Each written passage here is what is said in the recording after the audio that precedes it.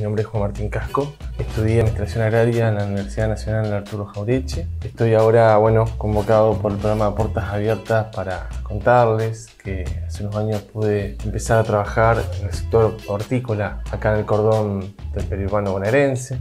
Pude acompañar a organizaciones de productores en lo que tiene que ver más con la gestión, con la administración, llevando a cabo también tareas en, el área de comercialización contarles también que la formación no tiene que ver solamente con, el plano académico de completar las asignaturas del plan de estudio, sino que lo que te brinda también la universidad es vincularte con tus pares, por ahí son vecinos también, y formar parte de proyectos de extensión, de investigación, que también son una herramienta muy importante en, la formación, el proyecto que cada uno va haciendo. Actualmente formo parte del plantel docente de la, de la carrera, bueno, es un orgullo para mí y cualquier cosita vamos a estar hablando.